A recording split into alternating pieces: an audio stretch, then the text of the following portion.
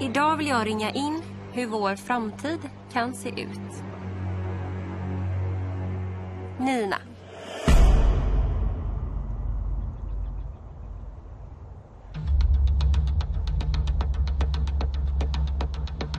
Jag känner inte att jag har liksom en plats kvar i huset. Jag känner att jag bara slösar min tid här. Ja.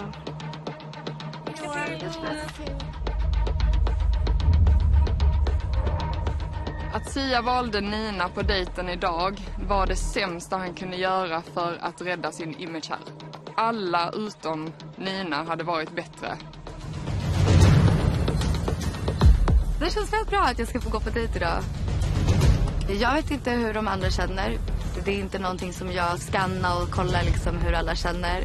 Det kan inte jag stå för eller ansvara för.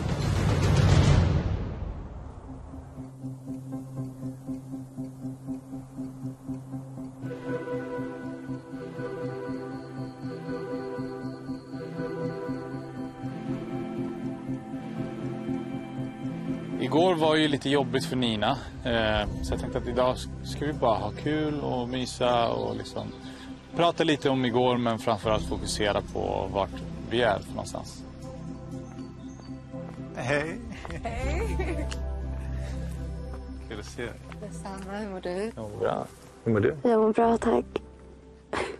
Smelling good as always. As always. Fin du är. Tack detsamma. Vet du vad vi ska göra idag? Nej, berätta. Vi, ska, vi är på en vingård. Vi ska faktiskt eh, tillverka våra egna ringar. Okej! Eh, så vi kommer liksom smida dem. Fan vad coolt. The old school way. Eh, jag kommer göra din ring, du kommer göra min ring. Nej, okej. Och sen så eh, har vi kul bara. Ah, Fan vad coolt. Kul va? Ja, fett kul. Okej, vi kör. Kom vi går bort så... Kändes det jobbigt för dig när vi stod i minglet med dem? Det var fett jobbigt. Mm. Det var jätteobekvämt. Ehm, men ehm, ja, det är liksom så som ja, det blev så. Och så ja, jag vet faktiskt inte vad jag ska säga. Jag blev jättebesviken eh, och sårad. Ehm, och nu vet jag bara. Mm. Nu har jag fått eh, en större inblick på hur det faktiskt är. Det är det som är det positiva med när sånt händer. Att man faktiskt ser vilka... Folk visar sin sanna sida. Exakt. Men hur kändes det för dig? Alltså för att jag bara tänkte så här, bara, Det var ganska jobbigt. Ehm, det var fett jobbigt. Men jag, jag kommer från en ganska lång relation som var väldigt mycket så. Det var mycket den energin. Så jag är väldigt van vid det. Alltså jag, har lärt, eller jag har lärt mig att hantera det. Eh, och att det hände som det gjorde var bara så här, en bekräftelse att lit, fortsätt lita på dig själv bara. Och eh, alltså, liksom, jag, jag är inte här för att plisa någon. nej. Jag är här för att lyssna på mitt hjärta och liksom, ja, Men jag tycker du hanterade det fett bra.